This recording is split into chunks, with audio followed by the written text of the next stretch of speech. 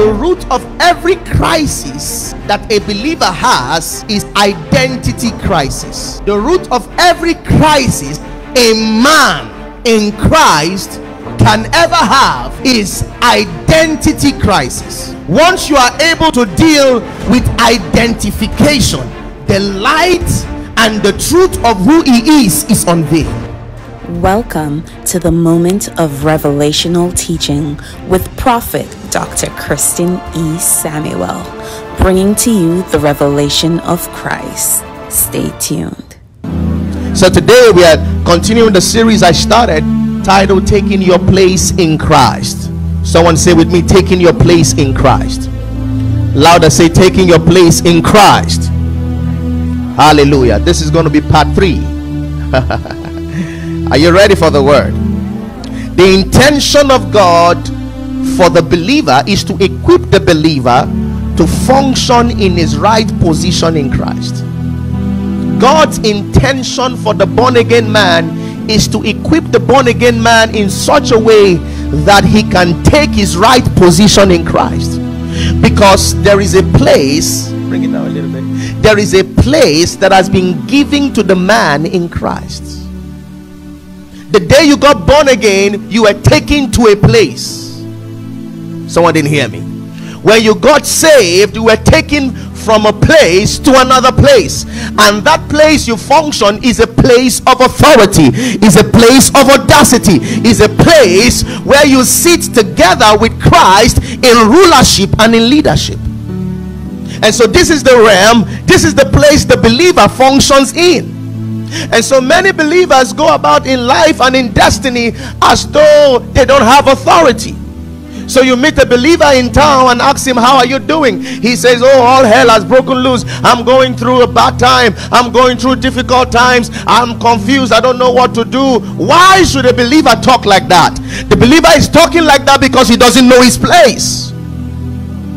And once you don't know your place, you are displaced. And the devil can use you like a ping pong. He just plays you around anyhow he likes. But that's not God's intention for your life. Because the Bible says, Be fruitful, multiply, subdue the earth, and dominate. So, God's intention for every believer is to subdue, is to dominate, is to replenish the earth.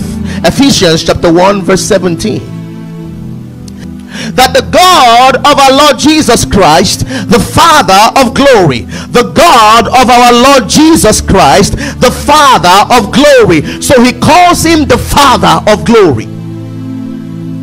The pata is the Greek word, the pata of glory. That means the source of glory. So if he is the Father of glory, who are the glory? The glory is the man in Christ. Uh, I wish I was communicating. He calls him the Father of glory. That means he gives birth to glory. Hmm. The God of our Lord Jesus Christ, not the God of Abraham, Isaac, and Jacob. Uh, the name of God changed in the New Testament. Ayabatalabada. The name of God changed in the New Testament. So in the New Covenant, He's called the God of our Lord Jesus Christ. I don't know the God of Abraham. I was not there. I don't know the God of Elijah. I was not there. Somebody was praying one time and said, Lord, let the God of Elijah answer by fire and destroy all of my enemies. I say, You're a devil. Because it wasn't God who answered Elijah by that fire. It wasn't God. God is not a killer. God only gives life. So the one who answered Elijah by fire wasn't God. Because even those magicians could also call down fire like Elijah did. But Elijah held up the fire. It means the prophets of Baal could also call down fire. But Elijah used his authority in the cosmic realm to hold the fire. So all day, all night, they were praying to their angel, that false angel, But that false angel did not release fire for them. But when the evening sacrifice came, Elijah called down fire and fire answered. It wasn't God who answered by fire, it was angels that answered by fire. It was angels. Because one time Jesus and his disciples were going into a village and they threw stones at them. Then James and John said, Lord, let us call down fire from heaven like Elijah did. You don't need to do it. We know how to do it like Elijah. We can do it like Elijah. We've mastered the art of calling down fire from heaven. Do you know that there are actual music uh, magicians in Africa that can call down rain? Yeah. It can be so sunny and all of a sudden wind and thunderstorms will just arrive and rain heavy rainfall will pour down. They know how to do it. Is it god? Let us call down fire like elijah did. And jesus said no you do not know what spirit you are of. For the son of man has not come to destroy men's life but to save them so the God that answers by fire is not the God of our Lord Jesus Christ. Yeah. was an angel that answered Elijah by fire. So don't go about town asking fire to destroy your enemies. Because no fire from God will destroy any enemy. Rather, the fire from God refines and transforms cloven tongues of fire came upon 120 illiterates and turned them into world changers. So the fire of God only transforms a life and turns men's life into lives of transformation. That's what the fire of God does. Are you still here? Hmm. So the God of our Lord Jesus Christ, the Father of glory, the Father of glory. So he lets you know who you are. Your name is glory. If God is my Father, and he is the God of our Lord Jesus Christ, and he is the Father of glory, and I call him Abba, then who is the glory? That means I am the glory. Shatabaha. I am the glory of God. So when I wake up in the morning, I say, The glory of God has woken up. Zoketa. When I look at myself in the mirror, I say, Look at how wonderful and beautiful and fearfully made. I am the expression of God's glory on the earth. So the glory of God is not sun, moon, and stars. Forget about the elements. The glory of God is some folks seated in Superior Lane, Bowie, Maryland. This is the glory of God seated right here. Somebody shout hallelujah. Yeah. The glory of God. Oh, oh, the glory is here. The glory is God. No, the when we walk through the door, the glory of God walked into this room. Yeah, Sakota Bahaya. So how can I live a defeated life when I am the glory of God? Kabaha. That word glory is the Greek word doxa. D O X A, doxa and doxa means wealth. The weight. The wealth of god. The wealth of god. The weight is weighty. It's weighty. Have you ever held a bag of coin? It's heavy. It's weighty. So a believer does not need to confess i'm broke. Where do you get that from? I'm broke. You cannot be broke because right inside of you is the wealth, the riches of His glory. Right inside of you, I'm the wealth of God. I'm the wealth. God is not rich in dollar, God is rich in glory. And if I'm the glory of God, I know how to get the dollar. Someone didn't hear me. Uh, if I'm the glory of God, I know how to get the dollar. Yeah. Because I'm the glory of God. The Father of glory. He lets you know who you are. You are His children and you are glory. So He's the source, the Father of glory. may give unto you, may give unto you the wisdom of the Spirit, the wisdom of the Spirit, and revelation in the knowledge of Him. May give unto you the wisdom of the Spirit. That is the same wisdom that is in the that's in the Holy Ghost right now. Paul is praying that that wisdom be deposited inside of you. The Sophia that word wisdom is Sophia, the world of the intelligence of that divine being may give unto you that intelligence. I'm not a dummy. I'm not a dummy. So the believer knows what to do, when to do, how to do, where to do. We're not confused. We're not confused. May give to you the wisdom of the Spirit if you have the wisdom of the spirit what is the wisdom in your career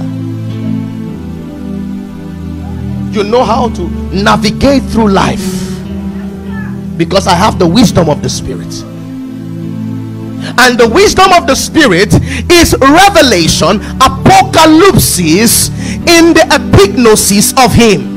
Revelation means apocalypse knowledge means epignosis. Apocalypse revelation means the unveiling of the accurate inspiration in christ.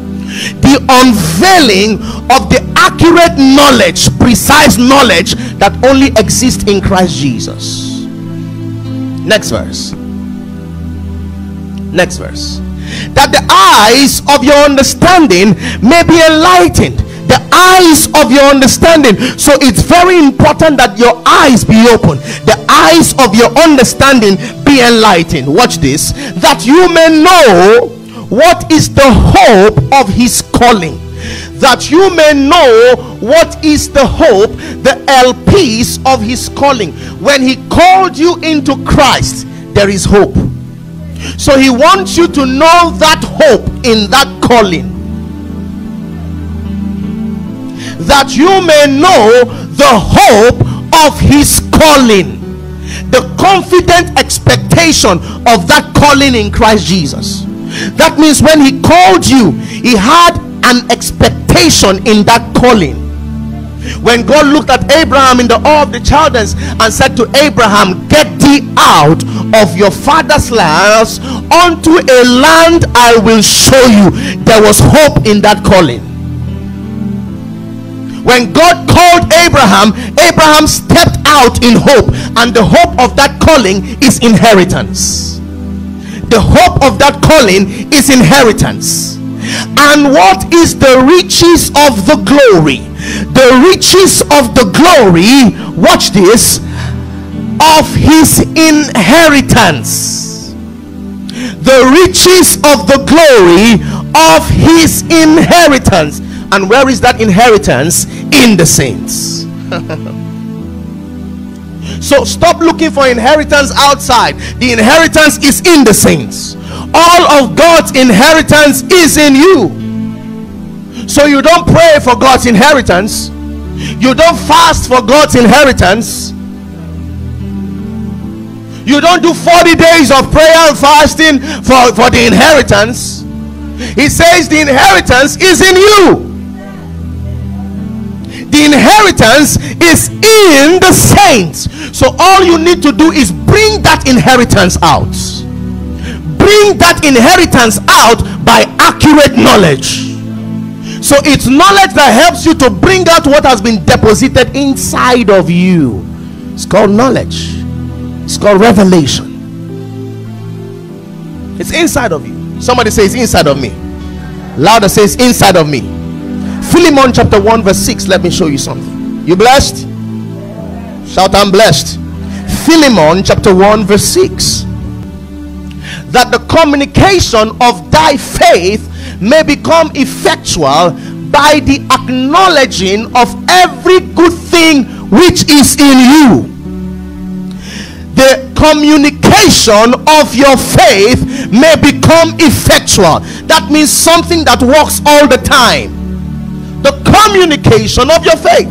That word communication means the Greek word koinonia, which means the participation of your faith. That means your faith ought to participate with the faith of God. The participation of your faith. So in Christianity, there is a responsibility. You have a responsibility in the faith. You participate in the faith. You fellowship in the faith. So the participation of your faith becomes effective, effectual by the acknowledging, gnosko, epignosis, acknowledging of every good thing which is in you. So the good thing is not in the sky, the good thing is in you. The good thing is not with the government, the good thing is in you. Acknowledging of every good thing which is in you and you are in Christ. So the good thing is not in Christ. So the believer does not pray, Lord, give me something. Lord, give me something. That's not the prayer of the believer. Because if you're asking Jesus, bless me, Lord, bless me, Lord, bless me, Lord, then Jesus is like, but I put all the blessings inside of you. I put all the good things in you. So, how do you want me to dig it out of you? You dig it out of yourself because it's in you already, it's right inside of you. So, how do you get that thing which is in you out? By acknowledging. It didn't say by praying. Is prayer good? Yes. But many Christians pray without knowledge. And that's why they pray amiss. They're always praying, they're always full of words, praying, praying. And when it doesn't work, they begin to question God. Lord, Lord, where are you? I'm not coming to church again. Okay, if you don't come to church, who are you doing? You're doing yourself, you still go to hell. What's your problem? yeah, you go to hell. Are you doing someone a favor? Lord, I'm not coming to church again. That's fine. Because many people have failed to come to a place of knowledge. They want a quick fix. They don't want the word.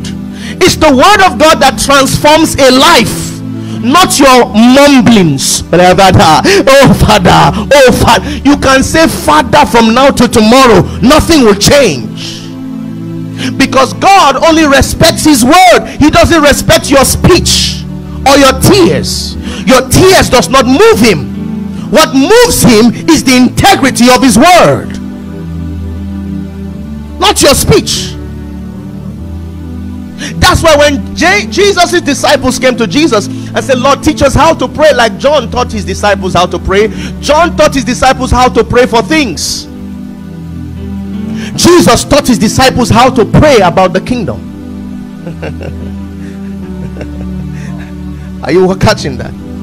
He said, Pray this Our Father which is in heaven, hallowed be thy name. Thy kingdom come, thy will be done on earth as it is in heaven. And the will of God is the salvation of all men.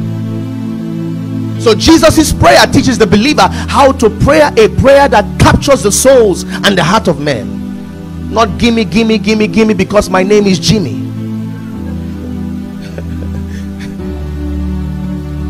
And yet they pray, gimme, gimme, gimme, gimme, gimme, gimme, gimme, and they really don't get.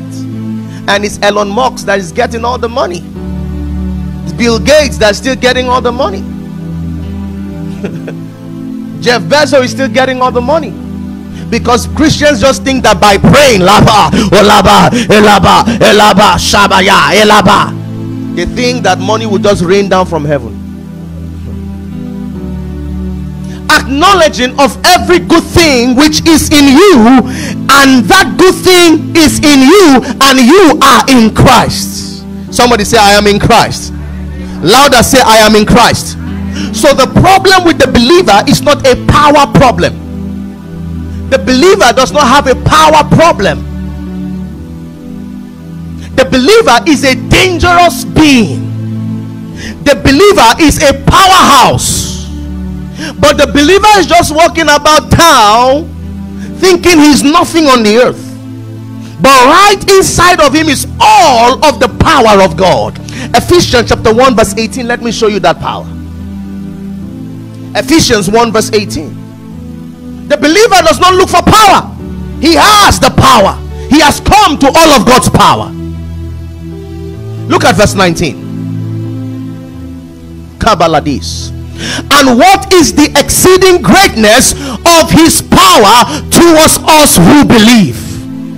What is the exceeding greatness of his power towards us who believe? So, where is that power? Is towards us who believe. So Paul says, What is the exceeding greatness of that power? And that power is generated to the one who believes. So the power is towards the one who believes. The day you believed in the death, burial, and resurrection of Jesus, that power was transported inside of you. And Paul calls it the great exceeding greatness of his power. huperballon, megatos power that goes beyond targets. That means when God was to throw that power in you, the power landed in you and exploded around your environment. That's the word Paul used there. Exceeding greatness. huperballon megatos. It means to throw beyond target. When he threw that power on you, the power exploded on you and went around you and rearranged things in your environment. That means that power can turn around anything in your life if only you come to the accurate knowledge of that power. It's in you. So the believer does not have a power problem. The problem of the believer is the understanding of his placement is the understanding of his placement. Once he knows where he has been positioned, he functions in that authority. Towards us who believe, according to the working of his mighty power. So the power is towards you, and that power is constantly working. According to the working of his mighty power that power is mighty and is continually working. It's working. The power is working in me. It's working in me. It was working in me. I got the power of God. Whether you are aware or you're not aware, is working in you. It's working. it's just generating. Like the power that is generating or that is powering this this room right now is working somewhere from a transformer non-stop is working if you turn off the lights in this place it doesn't mean that the power in this room is not working it's working it's working but all you need to do is come to a place of knowledge of that which is working already inside of you so you just turn on the lights turn on the lights the light shineth in the darkness and the darkness cannot comprehend it. The darkness cannot stand the light, and that light is knowledge. That light is knowledge. Knowledge is that light. Just turn on the light. Once you turn on the light, most of your prayer points will change. There are certain things you will not be praying for anymore.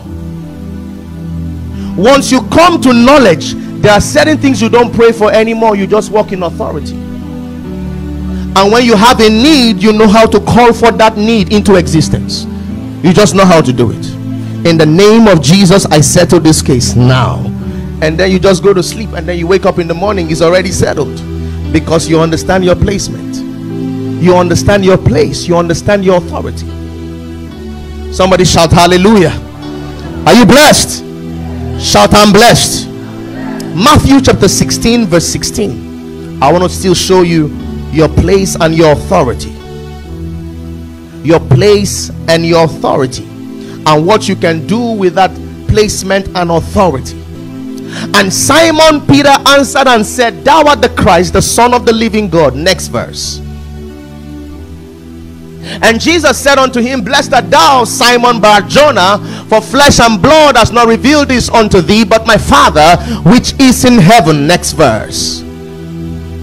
I say unto thee, Thou art Peter, and upon this rock I will build my church, and the gates of hell, the gates of hell shall not prevail against it. The gates of hell shall not prevail against it. Let's look at the next verse.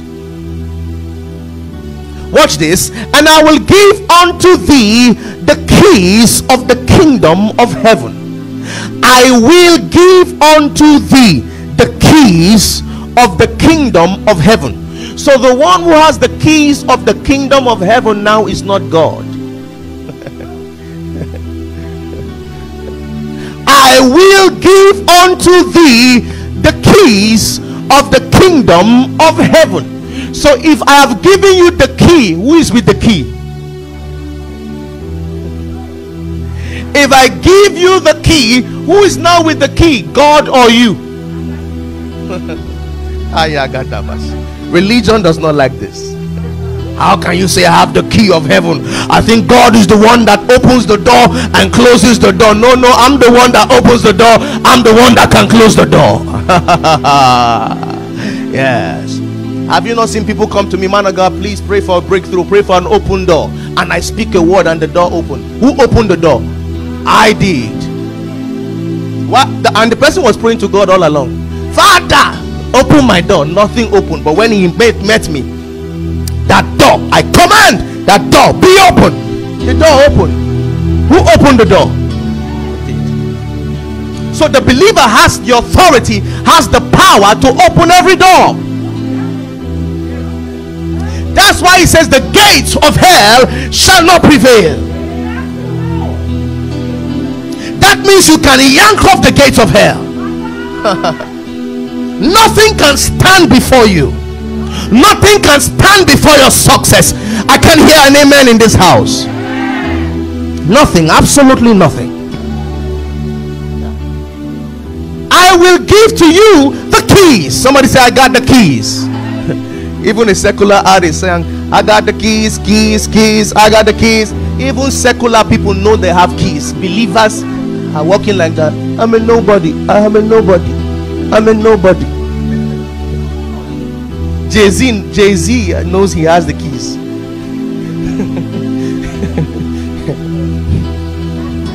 Jay Z and DJ Khaled, they know they have the key. but believers, why are you acting like you don't know what you have? Got the keys of the kingdom of heaven the keys. That word kingdom is the word basileia. Basileia. And basileia means the rule or the reign. The rule or the reign. The domain of heaven. The royal palace. Hmm. That's what kingdom means. The domain of a king. Kingdom the domain of a king, kingdom. So you have the keys of the domain of the king of heaven. Aha, someone didn't hear that. You have the keys of the domain of the king of heaven. Uh, that means he depends on you to rule and reign in his domain. that means he can't rule or reign without you. So he rules and reigns together with you. Because you have the key. I got the keys. And watch this. And whatsoever thou shalt bind is not whatsoever God shall bind. God will not do the binding, you will do the binding because you have the keys. Whatsoever you shall bind, yeah, whatsoever I can bind because I have the key. I got the authority.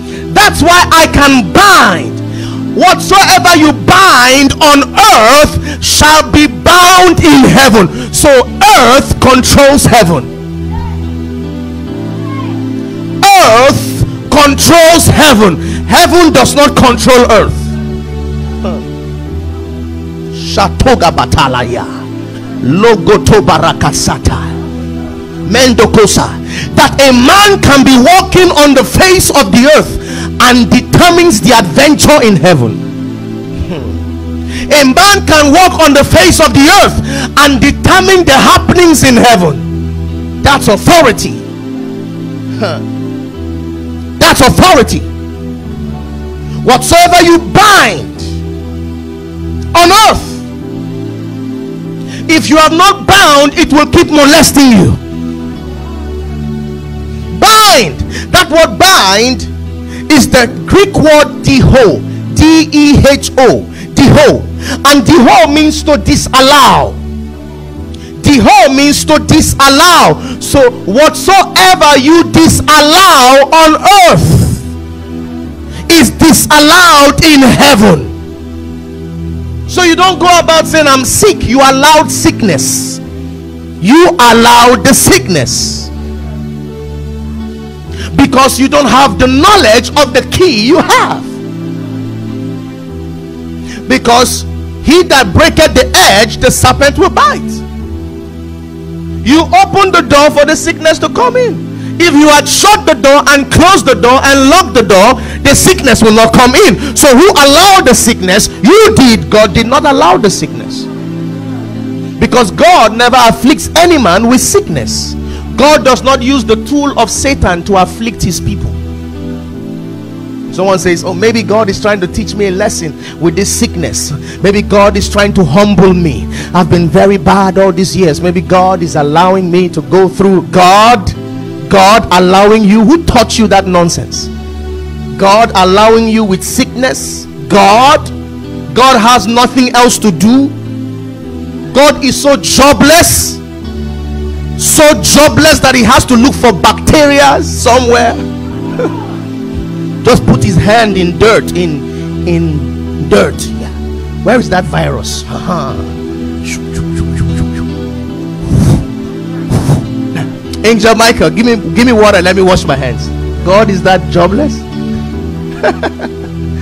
yes, I've afflicted her. Yes, I've afflicted her with the sickness. Uh-huh. I need to teach that one a lesson. Cancer, cancer. Uh-huh. Michael, bring the cancer cell. Yeah, let me walk it. Uh-huh. God. God is not wicked. Somebody say, God is not wicked. Louder say, God is not wicked. So God does not allow these things. You allowed it. Because whatsoever you allow, whatsoever you bind, so bind means to disallow. So whatever you disallow on earth will be disallowed in heaven. You can disallow lack, you can disallow poverty. Whatsoever you disallow,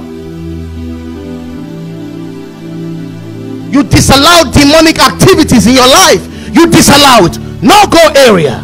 No go area for witchcraft activities here in the name of Jesus.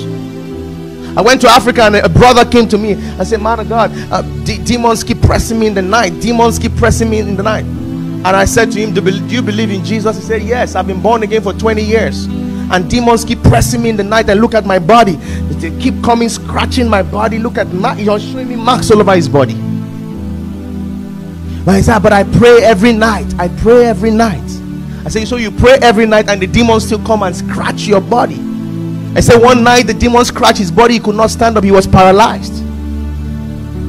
And he said, I covered the whole house with the blood of Jesus. And they still came to press me. I said, You see, this is why we keep teaching knowledge. Because you can say blood of Jesus it doesn't work. It's not you calling blood of Jesus that works, it's the knowledge of what that man Jesus has done on your behalf that works. You can scream Jesus from now to tomorrow, and the demon will say to you, Jesus, we know. You think we are scared of Jesus? No, we are not scared of the name. We even know him. we know him. He's the one who even created us. Don't you understand? he created us. So do you think I'll be scared? But what demons are afraid is your authority in him. It's your authority. So you allowed the demonic affliction. You allowed it. Whatsoever you bind shall be bound, and whatsoever you lose, that word lose means to dissolve, to put off, or to destroy. Lose means to dissolve, to put off, or to destroy. So, whatever you destroy, you destroy on earth, you put off on earth, shall be put off in heaven. It's not heaven puts it off and it's put off on earth. You put it off on earth and then it's put off in heaven. Somebody say, I got the keys. Louder say, I got the keys. I can't hear you say, I have the keys. So the man in Christ has been given the keys, the keys of the dominion and rulership of heaven. Somebody say, I have the keys. Louder say, I have the keys. Hebrews chapter 1, verse 8. Hebrews chapter 1, verse 8, as I begin to round up. Are you blessed? Louder shout, I'm blessed. Let me show you your placement in Christ and why we are positioned in Christ. Why are we positioned in Christ? Why are we positioned in Christ? Hebrews chapter 1, verse 8. Let's read from verse 7 so we can understand the context. And I want to show you what happened to Jesus when he rose from the dead and ascended to the heavens. This is what happened in heaven when Jesus ascended to heaven. And of the angels, he said, Who maketh his angels spirits and his ministers a flame of fire. So the angels are the fire you see there. All right, next verse. but unto the Son he said, Thy throne, O God, is forever. A scepter of righteousness is the scepter of thy kingdom. Thy throne, O God, thy throne, O God, is forever. A scepter of righteousness is the scepter of thy kingdom unto the Son, he said, This is God talking to Jesus. And this is God talking to Jesus when Jesus rose from the dead and ascended into heaven. Please pay attention. When Jesus arrived heaven on that day, when he arrived heaven, God looked at Jesus and said, Thy throne, O God so God called the Son God. Uh, someone is not catching me. Thy throne, O God. So God is looking at man and calling man God. when Jesus ascended to heaven, remember Paul gave us a narration and said that God has highly exalted him and has given him a name that is above every other name. That at the name of Jesus, every knee should bow and every tongue should confess that Jesus is Lord, Jesus is sovereign, Jesus is God, Jesus is the one who rules over the earth. So, this is what happened on that coronation service. When Jesus arrived in heaven with all the saints of the Old Testament, God single handedly picked out Jesus from the crowd and said to him, Son, come forth. And the son stood up from the congregation of the saints and walked towards the throne. And God said to him, Sit. Sit. My Lord said to my Lord, Sit at my right hand until I make thy enemies thy footstool. So God said to the son, Sit. And when the son sat, God began to speak to the son. Unto the son, he said, Thy throne, O God. so God is calling a man God, and God is calling a man his God. Thy throne, O God, unto the Son. So God is calling the Son God. So if God calls anybody God, that means that God is his God. if God calls anybody God, that means that person he calls God is his God. So God said to Jesus, Thy throne, O God, is forever and ever. Nobody is taking the seat from you. Nobody is taking this position from you. It's forever and ever. And the believer in Christ is seated with Christ in the heavenly places. So my throne is forever and ever. No man can take your position. Somebody shout out here. Yeah, no man can take my position. If Jesus' throne is forever and ever, and I'm seated with Christ, so where is my throne? My throne is forever and ever. Is forever and ever. So the believer cannot be unseated from this place. Demons can come there and take you out of that place. It's forever and ever a scepter of righteousness is the scepter of your kingdom. So he coronated Jesus. Next verse. So look at God calling the Son God. Thou hast loved righteousness, thou hast loved righteousness and hated iniquity, therefore God. Even thy God has anointed thee with the oil of gladness above thy fellows. So now God now calls himself the God of Jesus. He called Jesus God. Then he now goes ahead to say, I am even your God. this is the what the Greek calls subkatizo. You can't find one without the other. Where you find one, you find the other. Subkatizo. So he now says to Jesus, I am your God and now also says to Jesus, You are my God.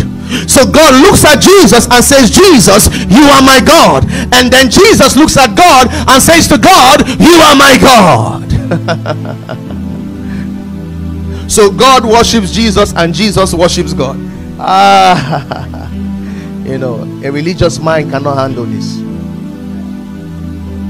But it's right there. Unto the Son, he said, Thy throne, O God Oh God. So God called the Son God. Even thy God has anointed thee with the oil of gladness above your fellows. That word fellows means brethren. That means when Jesus went to heaven with all the saints of the Old Testament, God single handedly picked Christ out and coronated Jesus. So Moses must have been there looking at Jesus and be like, wow, this little boy that came after me, so he is God. Elijah must have looked and said, wow, so Jesus is God. Ezekiel and Daniel must have looked and said, so he is God. And said, sit at my right hand until I make thy enemies thy footstool. God anointed him with the oil of gladness. So the only one that God anointed is Jesus. No other person is anointed of God. Let that sink. Write that down in capital letters. You know how some men of God go about in town and say, I am anointed of God. You lie. You are a liar. Where did you see God? Where? anointed of God. That is, God walked into your bedroom. No, it was some big belly bishops with white collar that poured granite oil, coconut oil on your head. It wasn't God. Some pot belly bishops poured cooking oil on your head. And now you go about with cooking oil on your head that if we submit your head to a fry pan, you will be a fried chicken. So that now puffs them up with pot belly. It now puffs them up. Cooking oil on their head now puffs them up. Do you know who I am? Touch not my anointed. No, you are anointed in your pot belly, my friend.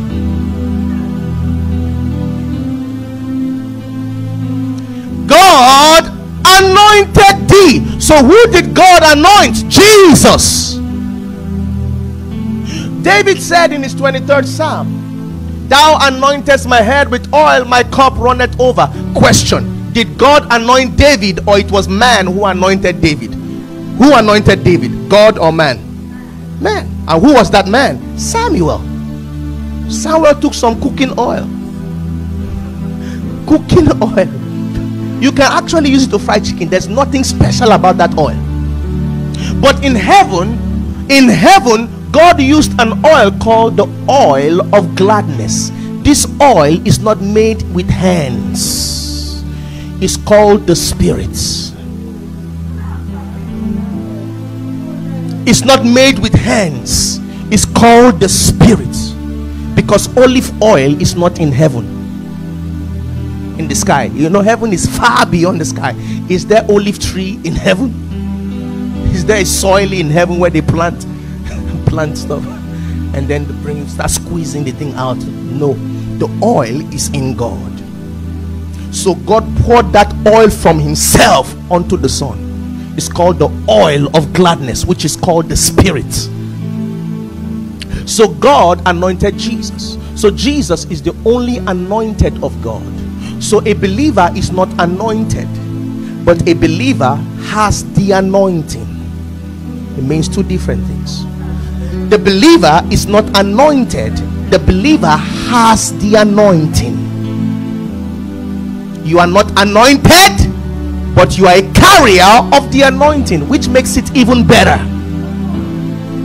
Because the oil that flows from the head goes down to the beards even down to the skirt of aaron. So you are the one that the oil overflows on because the oil on the head which is christ rubs off on the body. So christ is anointed you house the anointing. So christ in you the hope of glory. So you have the anointed one in you. That means you have the anointing in you. Yeah. So no bishop somewhere will just harass you and say touch not my anointed. No but you can touch us but we can't touch you. What are you saying sir? What are you saying we can touch you. The government has touched you many times and you are the one even touching people. And we are seeing you on cnn touching people carelessly. And we see you locked up in jail and you're telling me not to say what are you saying sir?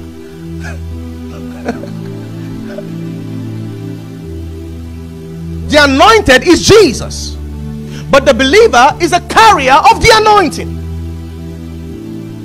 i house the anointing of the holy ghost. That means i can do anything by the anointing of the spirit.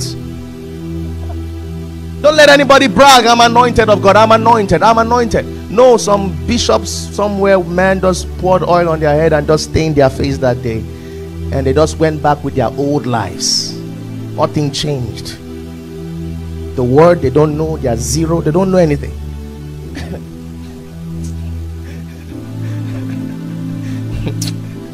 religion. Religion is very wicked. It's very wicked. And it makes it puffs people off that are nothing before god. Nothing. It puffs them up and they are nothing before god. They want to take the position of christ. Because once you say i'm anointed of god because the word anointed is the greek word christ. Anointed is the greek word christ so when you say i'm anointed of god what you're actually saying is i am christ and people don't understand the implication of the words they say so which christ are we following the one in heaven or you anointed thee with the oil of gladness above thy fellows. Somebody shout hallelujah. Next verse. Next verse. Next verse. And thou, Lord, in the beginning hast laid the foundation of the earth, and the heavens are the works of your hands. So when God anointed Jesus, in that anointing of Jesus, is you buried in that anointing? That means that anointing that came on Jesus came right inside of you. And so you can function and live and reign on the earth with that anointing. Rise on your feet wherever you are. For more of our messages, follow us on our social media platforms Facebook at Dr. Christian E. Samuel, YouTube at Dr. Christian E. Samuel, Christian Samuel Ministries, bringing to you the revelation of Christ.